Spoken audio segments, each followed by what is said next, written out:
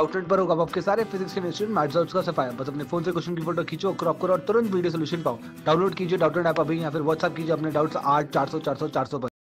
हमें बोला गया है कि a coaxial cable has a inner has a thin inner conductor along the axis of the hollow outer conductor ठीक है? और दो कंडक्टर में इक्वल करंट है बट ऑपोजिट डायरेक्शन में है। Let B one and B two B the magnetic field एक है इन बिटवीन द कंडक्टर्स और एक है आउटसाइड द कंडक्टर्स रिस्पेक्टिवली तो हमें बताना है कि बी वन और बी टू का क्या वैल्यूज़ होंगे, ठीक है? तो हम लोग क्या करते हैं, हम लोग पहले ये जो डायग्राम है वो बना लेते हैं।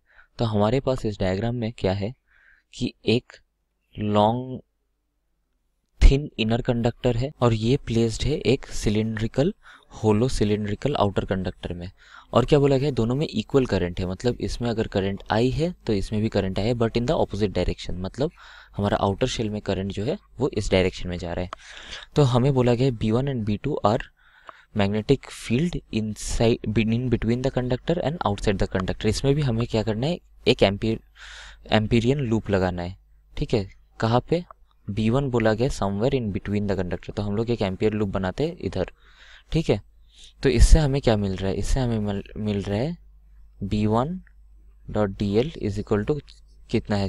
Current enclose mu naught I ठीक है? तो हमारा बी वन का वैल्यू मिला क्या? Mu naught I upon two pi R अगर ये वैल्यू हमारा छोटा आर है।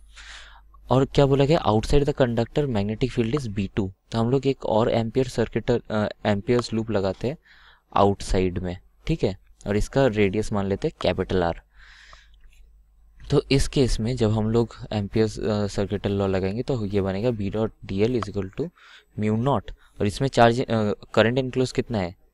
आई माइनस आई क्योंकि एक ऊपर जा रहा है, एक नीचे जा रहा है। तो इसका वैल्यू हो गया ज़ीरो इसका मतलब क्या? B two is zero and B one is this